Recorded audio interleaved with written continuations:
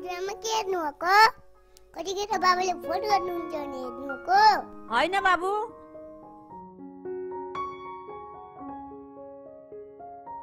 हजुरआमा हजुरआमा बाबा भिडियोबारी कहिले आउनुहुन्छ? हजुरले त्यही सोच्दै हुनुहुन्छ नि। अहिले जहिले पनि झुट भन्छ फोनमा कुरा गर्दा। आउँछु आउँछु भन्छ आउँदै आउनुहुन्न। होइन बाबु बाबाले ढाँट्नु भएको होइन। बाबा आउनै नपाएर हो। अहिले बाबा बस्ने जग्गामा नि टिटिट गाडी चलेकै छैन। अनि बाबा कसरी आउनुहुन्छ? बाबा आउनको लागि त तिमी मामा घर जान्छौ नि। हो त्यस्तै गाडी चल्न पर्छ। किन चल छैन गाडी? त्यहाँ पनि लकडाउन भएछ। यहाँ हाम्रो जस्तै। हो बाबु। त त्यसो पो भन्न पर्ने हो बाबाले मलाई। मलाई के थाहा नि त्यहाँ पनि लकडाउन भएछ भनेर। तिमीले बुझ्दिनौ भनेर होला नि त नभन्नु भएको बाबाले तिमीलाई। तिमी सानै छेउ बाबु।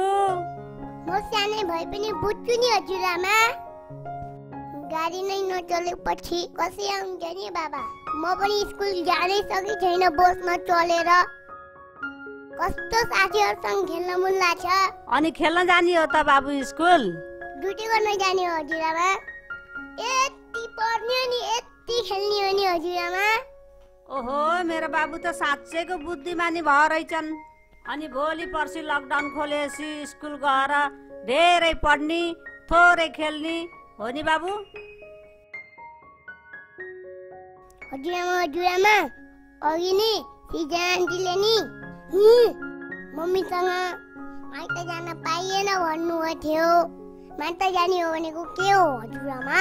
माइत जाने भनेको? सिर्जना आन्टी आफ्नो मम्मी पापाको घर जाने भनेको। सिर्जना आन्टी यसपालि आफ्नो मम्मी पापाको घर जान पाउनु भएन।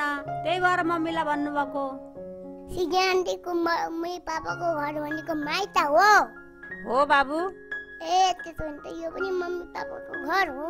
यो मेरो माइत हो। होइन बाबु छोरी मान्छेको मात्रै हुन्छ माइत।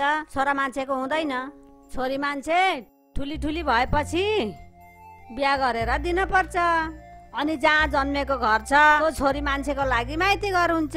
जसरी तिम्रो मम्मीले आफ्नो जन्म घर छोडेर यहाँ आउनु भयो अहिले तिम्रो मामाको घर मम्मीको माइती घर भयो। मामा घर मम्मीको माइती घर हो? हो बाबु। अन्तिजमा माइती घर जाने भनेको के हो हजुरआमा?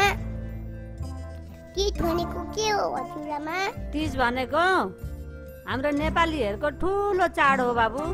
तिजामा सबै नेपाली चेलीबेटीहरूले राम्रो राम्रो कपडा लाउँछन् मिठो मिठो पकाएर खान्छन् अनि कोही माइत जान्छन् कोही मामा घर जान्छन् अनि ती जग्गा गीत गाउँछन् मादल बजाउँछन् अनि नाच्छन्।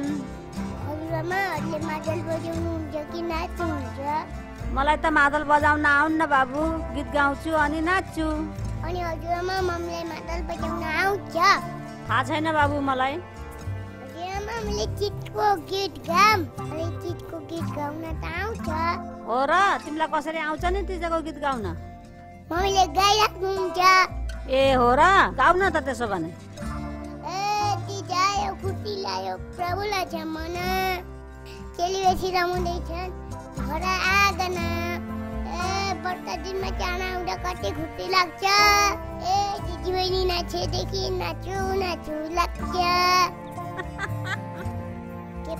पार के ताराई खुसी चारैतिर आनन्दले छिकिरहोस् छुन्न परोस् तिर मनभित्र खेलिरहोस् मिठो भावना कि जाऊ सबैलाई शुभकामना आहा कति मिठो गायो मेरो बाबुले राम्रो लाग्यो हजुरआमा धेरै राम्रो लाग्यो बाबु अनि हजुरहरूलाई कस्तो लाग्यो मेरो भिडियो राम्रो लाग्यो भने सेयर गरिदिनु लाइक गरिदिनु subscribe button.